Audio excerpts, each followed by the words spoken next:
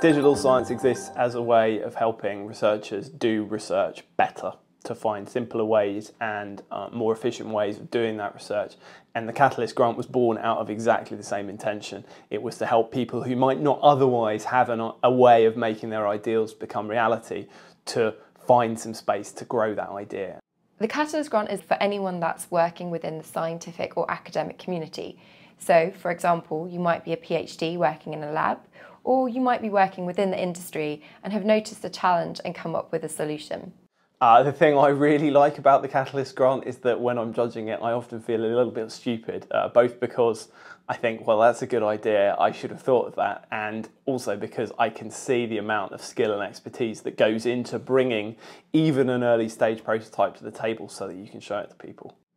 The Catalyst grant is a global endeavour and this year, we're really trying to encourage the diversity of our applications. And we're also trying to encourage more women to apply. We have a central judging panel, um, uh, and we do have a three-stage process uh, generally, um, whereby um, after applications are received, everyone's read in depth, um, and then a shortlist is uh, prepared, and then a judging panel will sit around the table and judge the merits and um, uh, otherwise of each application. From that shortlist, we will invite people to present, usually via Skype, so that everyone has a level playing field, uh, because we have uh, global applications and not everyone can fly into uh, our offices. Um, and then we'll make a selection. Here at Digital Science, we don't always necessarily offer grants that we know are going to end in fully fledged businesses.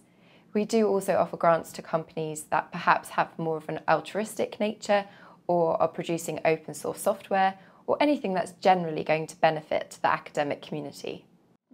The best Catalyst grant applicants are often the ones who have a new idea or an inkling that they're onto something, but they aren't quite sure where to go in order to test it and get some space in which to play with the idea to see how much they how much of something they've got hold of the definition of uh, research is uncertain futures, um, and uh, the definition of startups uh, themselves, many of whom do have uncertain futures, um, uh, means that um, uh, our investment in them um, and the experience and support that we can bring uh, to those companies hopefully makes those